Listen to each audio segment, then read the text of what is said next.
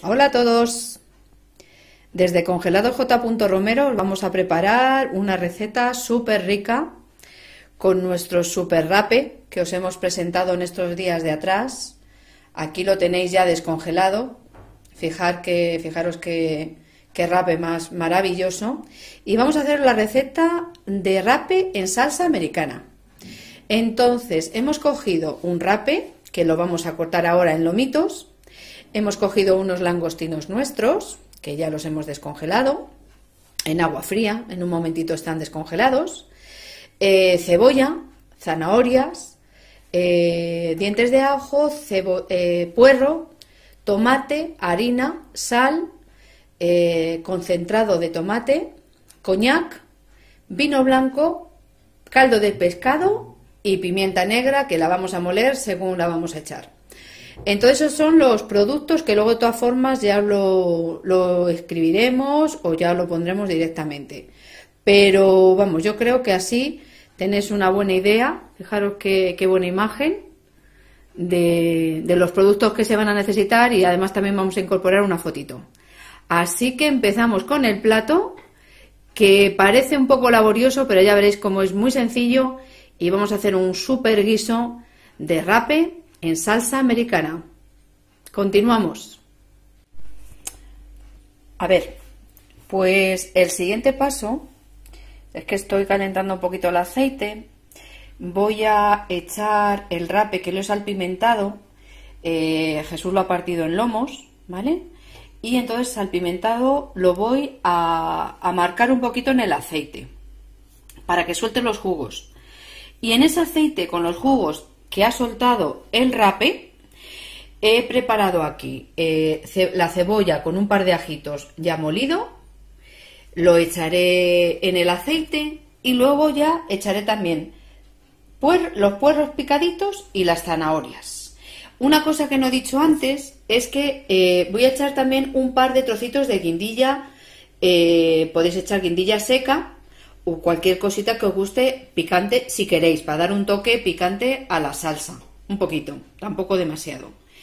Y luego ya pues echaremos el tomate que se vaya haciendo. Se puede echar, si queréis, eh, también eh, concentrado de tomate. Y bueno, pues vamos a ir haciendo estos pasos. Creo que la... no sé si estará... A ver... Eh, voy a darle un poquito más para que caliente.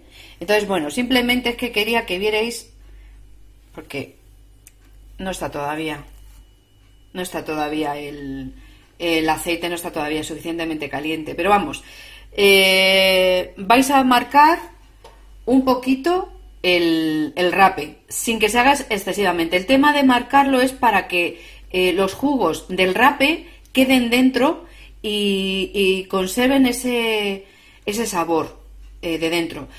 Mm, también hay recetas que se pueden harinar, freír con la harina y se reserva. Lo que pasa que ya no podríamos aprovechar el juguito que suelta el rape. Mm, cuando empecéis a sofreírlo, seguramente que empezará a saltar porque tiene mucha agua, taparlo y ya está. Entonces, ahora voy a marcarlo, como os he comentado, eh, voy a cortar la grabación y ya cuando retire el rape en un platito, voy a echar el sofrito, o sea, eh, la cebolla con el ajo y ya os voy a dar el siguiente paso para ir haciendo. Así que nada, empezamos a... Bueno, empezamos, no, seguimos la receta y, y ya veréis qué cosa más rica. Pues mirad, no puedo dejar de enseñaros cómo se está haciendo ahora mismo el rape. A ver, darme un minuto que voy a coger las, las pinzas.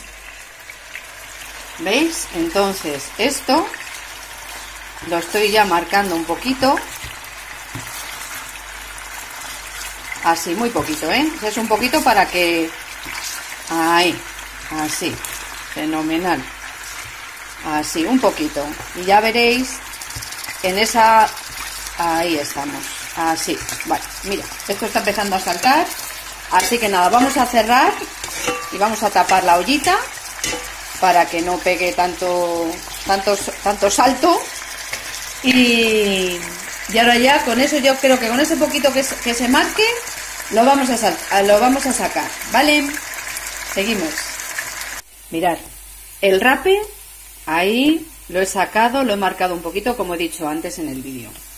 Y luego he echado aquí, en el aceitito ese, he echado la cebolla, la he dejado pochar durante 5 minutines y luego ya he echado a la cebollita con el ajo, el puerro partidito, las cebollas, he echado también, ¿veis? La guindillita ahí y le he echado también el par de, mm, de hojitas de laurel que no las veo por aquí, pero bueno, están ahí, mirad, ahí están las hojitas de laurel. Y ahora a este sofrito le vamos a echar los, las cáscaras de los langostinos, las cáscaras y las cabezas. Y las vamos a dar una vuelta y cuando estén un poquito así se van aplastando así bien para que vaya soltando ahí el jugo. Mirad, se me hace la boquilla agua. ¿eh? Ahí. Perdonad si no centro bien, pero bueno. Prefiero hablar y que me escuchéis y ver cómo van quedando todas las cosas. Ahora le vamos a dar, vamos a tenerlos a mejor dos o tres minutitos que vaya soltando ahí el juguito, las cabecitas de los langostinos. Luego vamos a echarle, que lo he dejado aquí preparado, el brandy. Y el brandy, cuando lo echemos, normalmente hay gente que lo flambea. Yo no controlo con el tema del fuego, entonces lo dejáis eh, cocer un ratito para que evapore el alcohol. Que lo pueden probar esta receta los niños. No lleva alcohol porque evapora. Luego ya indicaré cuando pongo el vino. Pues será 150 de brandy y a lo mejor 200 de vino. Tengo aquí preparado también el caldo o fumet de, pescado, que perfectamente puede ir en, en los bricks estos que tienen preparados. Y luego ya también echaré el tomatito. ¿Vale? Así que nada, mm, yo creo... Mirad, Qué bien. La verdad es que no traspasa el olor, pero es que huele de maravilla esto, ¿eh, chicos? Vaya guiso más bueno que voy a hacer. Ya veréis qué receta más rica va a hacer aquí en casa de los Romero, con el rape congelado que tenemos en nuestra tienda y los consejillos que os vamos dando para hacer unos platos súper ricos. Pues yo creo que ya estarán ya estará esto un poquito así. Vamos a echar ahora el brandy. Lo vamos a subir de temperatura a tope para para que evapore el alcohol ¿Eh?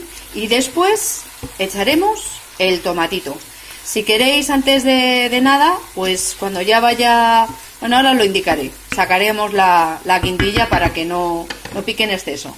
Así que nada, ahí dejamos evaporando el alcohol y, y en cuanto esté ya un ratito vamos a echar el tomate triturado. Seguimos.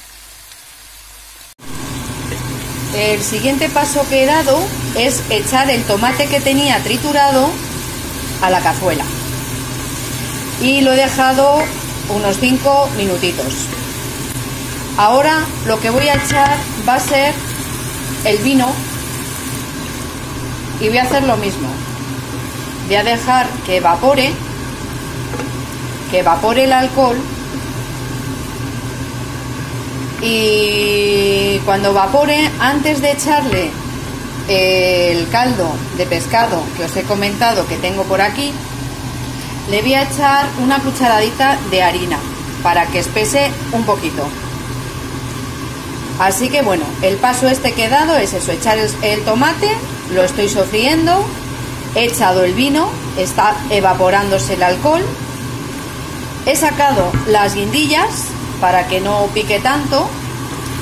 Y ahora eh, voy a echar una cucharadita de harina. Para que espese un poquito, le doy unas vueltas. Le voy a echar, en vez de tomate concentrado, le voy a echar tomate frito. Una salsa de tomate frito de este casera que son de una buena, que vosotros tengáis y que os guste. Así que, que bueno, os recuerdo, el paso que he dado es echar el tomate triturado, que lo estoy dando unas vueltas, he echado el vino blanco, que está evaporándose el alcohol porque lo he puesto a tope, le voy a echar una cucharadita de harina, le voy a dar unas vueltas para que se dore y no sepa crudo, y luego a continuación voy a echar el caldo, el caldo de pescado, que tengo aquí 800 gramitos, o sea, miligramos, perdona, 800 mililitros, ¡jo! ¡Qué lío con las, con las unidades! Mililitros, 800 mililitros voy a echar yo, ¿vale? Y, vamos a dejarlo cocer durante 20 minutos. Y luego ya os explicaré el siguiente paso. Huele de maravilla. A ver, ya llevan prácticamente 20 minutos que lo he programado ahí para que cueza toda la salsita con las cabecitas de, los langostinos, los cuerpecitos, el caldo, le echa un poquito de agua.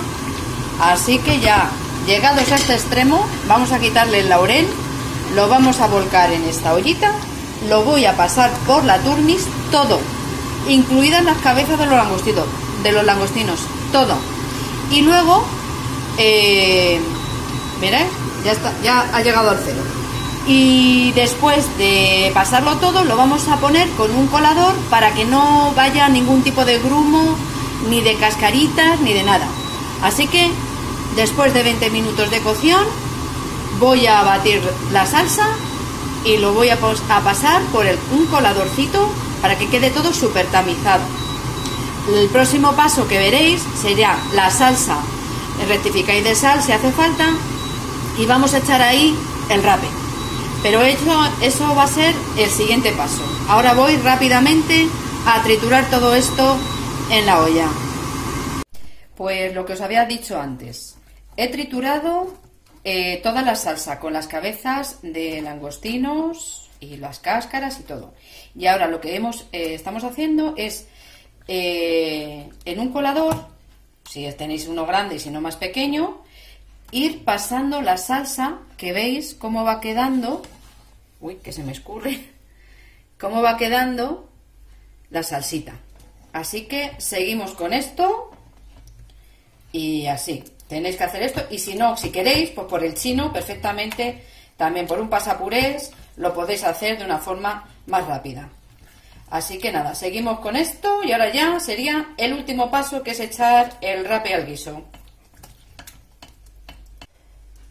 Pues mirad, aquí tengo el rape y al final he pasado la salsa por el chino. Yo os recomiendo por el chino, porque yo lo he estado mirando también en otras recetas a ver cómo lo hacían y, y lo hacían con el colador, pero es que se tarda muchísimo. Así que por el pasapuré pasáis la salsa perfectamente y bueno, lo he probado, rectificado de sal, pica un poquito y ahora le vamos a echar lo que es el rape que teníamos aquí reservado. Vamos a echarlo ahí. ¿Eh? Ahí, ¿veis? Así un poquito. Y lo vamos a tener eh, pues unos 10 minutos, una cosa así, yo creo. ¿eh? Y, y, al final ya, cuando lleven esos 10 minutos, le vamos a echar los langostinos que tenemos aquí pelados. ¿eh? Pero esto ya en los últimos dos minutitos que cuecen enseguida y les va a terminar de dar un gusto estupendo a nuestro guiso. Hecho el juguito que había soltado el rape y ahí está nuestro guiso prácticamente preparado. Tiene que cocer durante, pues ya, ya os digo, unos 15 o 20 minutos para que coja el rape el saborcito. Y a punto de terminar la cocción le echamos los langostinos. Así que ya el siguiente paso ya será la terminación de nuestro plato.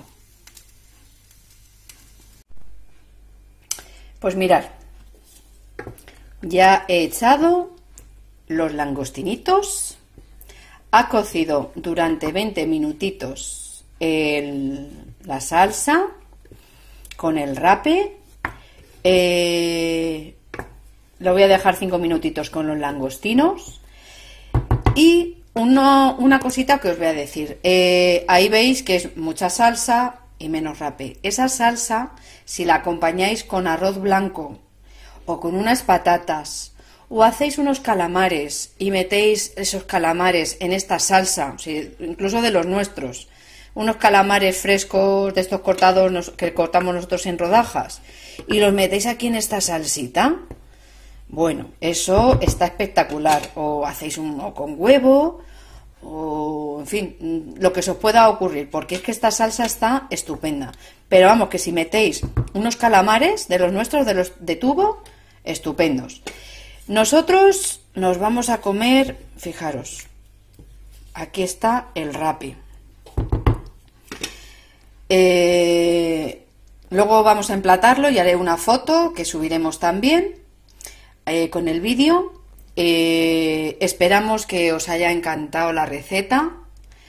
Está, lo he probado, está mm, de muerte. En congelados J. Romero lo podréis comprar en el mercado de Vicálvaro, local 20. buen provecho. Y esperamos que os guste mucho esta receta. Y me comentáis, por favor. Un beso muy, muy, muy fuerte desde casa de los Romero.